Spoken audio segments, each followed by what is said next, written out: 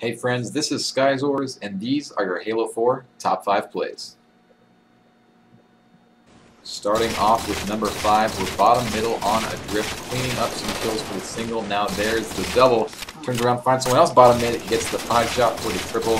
Now getting some help to pick up that overkill. This is all BR play so far, but he knows where that sniper is, gets shot in the back, doesn't care, spins around, and gets the 180 no scope for the kill tech.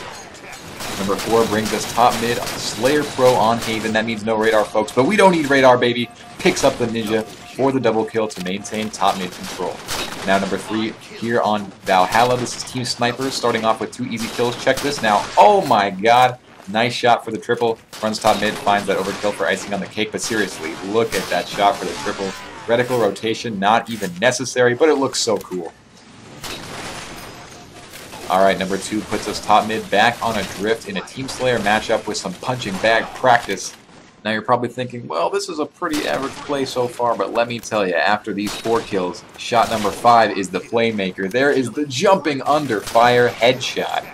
Check out that composure on the replay. Amazing reticle control, and that is why it is your number two play.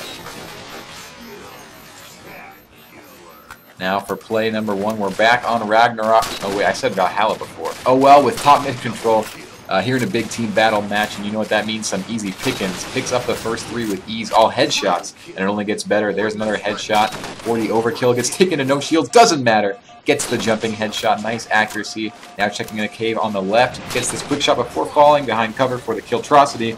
Look around wildly, picks up that one last kill before losing the spree. That was 6 out of 7 for headshots with that last cleanup for the Killimanjaro. Thanks for watching the Halo 4 Top 5 with Skyzorz, and if you've got a nice Halo clip, I want to see it. Submit your play for the next episode by following the link in the description below.